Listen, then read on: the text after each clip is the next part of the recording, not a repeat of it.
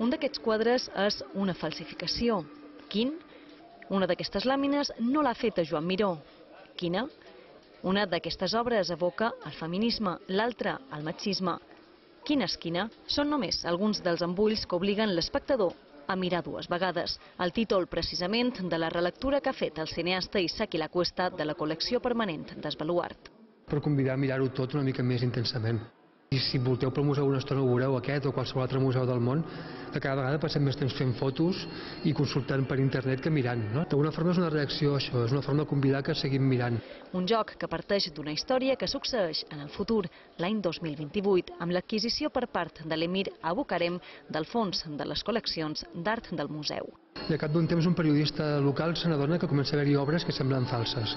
El porten a judici i se n'adonen que l'emir en realitat no ho està fent per robar ni per especular, sinó per amor a l'art, perquè vol col·locar obres seves Un emir que ara vigila atent entre les obres als seus espectadors. Pues està molt bé.